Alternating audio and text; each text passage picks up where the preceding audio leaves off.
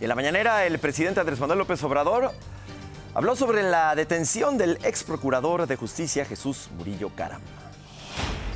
Eh, debe de tenerse en cuenta que son dos eh, acciones.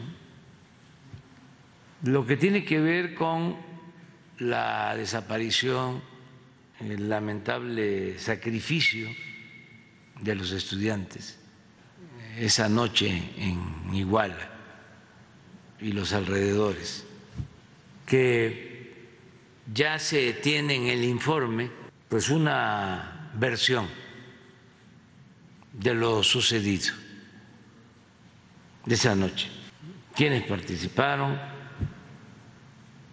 y los horrores que se cometieron. Entonces esa es una parte. Ya en el informe se narra lo sucedido y se tiene una lista de los implicados. La segunda parte. Muy bien, bueno, pues eh, estábamos ahí muy pendientes de la mañanera.